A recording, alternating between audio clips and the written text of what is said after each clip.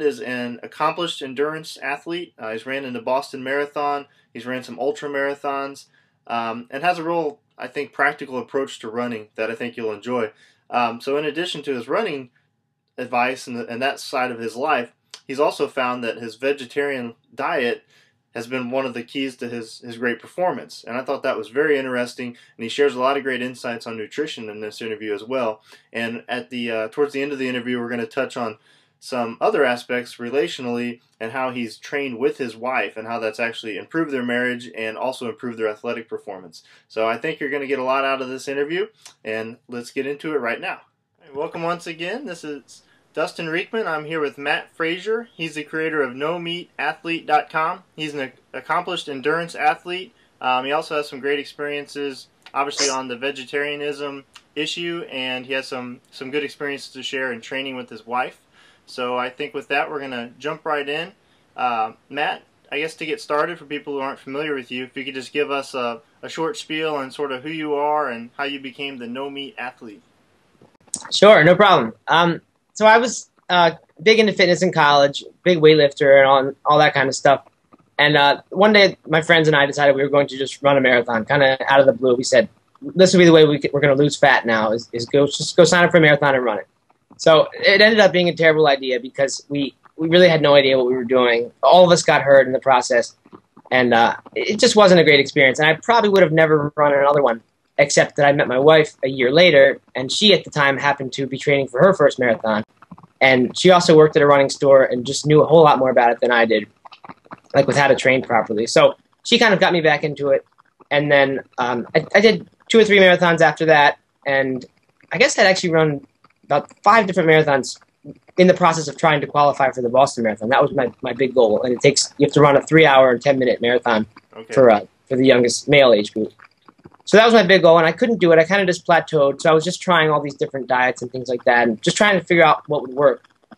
And finally, I just stumbled upon a vegetarian diet. I decided to give that a try, and uh, it, for me, it was just the perfect thing. And uh, I qualified for Boston six months after that. Just noticed a dramatic change in my running. And uh, within the year after that, I ran four ultra marathons and another marathon, um, and just another marathon distance marathon.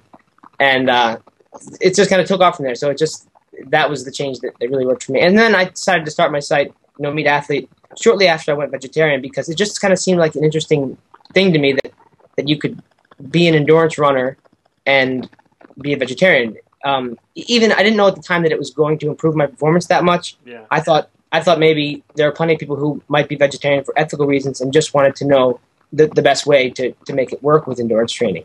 But it turned out um, that it just worked so well for me that it, it's kind of become something that I, I now recommend to a lot of people. Yeah, that's really fascinating. I, I would have assumed your backstory was sort of like you mentioned, the ethical ideas, and you're sort of able to run a marathon, you know, in spite of being a vegetarian. But it's it's really cool to hear that that change in your diet helped fuel you to a lot of success um, I, I we'll, we'll, get into the details a little later on exactly you know what what's an ultra marathon and uh, why it is that the vegetarian diet uh, improved your performance so much. I think to start off and kind of ease into things because probably most of our listeners um, maybe have that distant goal of a, a marathon or a half marathon, um, but most of them are probably novices and, and pretty early on if they're runners at all.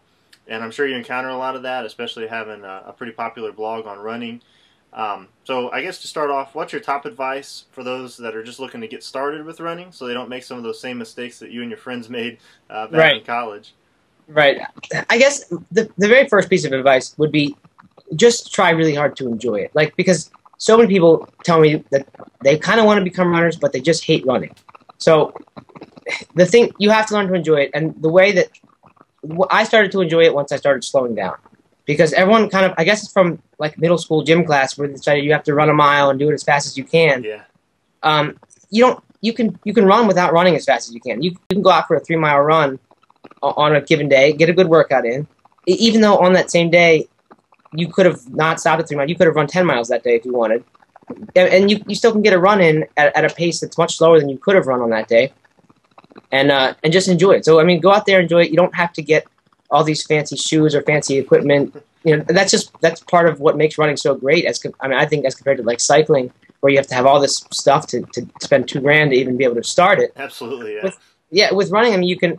They're kind of showing now that that running barefoot can be better than running in, in shoes. So I mean, it just goes to show you it's not about the equipment at all. And I don't recommend for a brand new runner to start running barefoot. Sure. uh, you know, make no mistake there. But y- you just don't need that much to get into it. It's fun. You can go outside. You can enjoy it. So that would be the first big piece of advice. Get yourself to enjoy it. Run in a way that, that is fun for you.